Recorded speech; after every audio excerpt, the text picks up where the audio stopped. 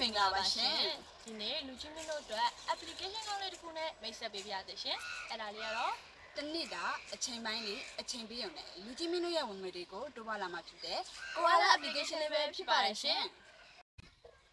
ဒီ Koala application လေးကို2015ခုနှစ်တင်ထုတ်ဝေခဲ့တာဖြစ်ပြီးတော့အဲ့ဒီ application လေးကဆိုရင် Alibaba ကုမ္ပဏီလက်အောက်မှာရှိတဲ့ကုမ္ပဏီတစ်ခုလည်းဖြစ်ပါတယ်ရှင်အဓိကအဖြစ်နေဆက်ဖြစ်ကျော်တင်းကုန်လုပ်ငန်းကိုလုပ်ကိုင်နေရှိပြီး American, Germany, Japan, Italy, တောင်ကိုရီးယားနဲ့အခြားနိုင်ငံပေါင်းများစွာမှာရုံးခွင့်များဖွင့်လှစ်ထားရှိတာဖြစ်တဲ့အတွက်ကြောင့်မလို့စိတ်ချယုံကြည်ရတဲ့ application တောင်းတစ်ခုလည်းဖြစ်ပါတယ်ရှင်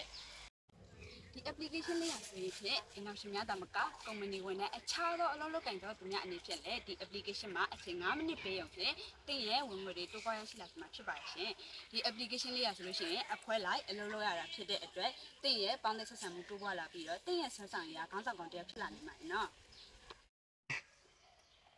ဒီ application လေးကိုလူချင်းမင်းတို့ရဲ့ဖုန်းလေးထဲမှာ KB အကောင့် KBZ Banking Telegram အကောင့်ရှိရုံနဲ့လည်းအသုံးပြုလွတ်ဆောင်နိုင်မှာဖြစ်ပါတယ်ရှင်။ဒါဆိုရင်ငွေတက်မထုတ်တက်ကရောအဲ့တော့တော့လုံးဝမပူနဲ့အဲ့ဒီ application လေးကတင်တို့ရဲ့ငွေတွေကိုဒီနေ့ထုတ်မနေ့ပြန်ရရှိမှာဖြစ်တဲ့အတွက်လုံးဝစိတ်ချယုံကြည်ရရနော်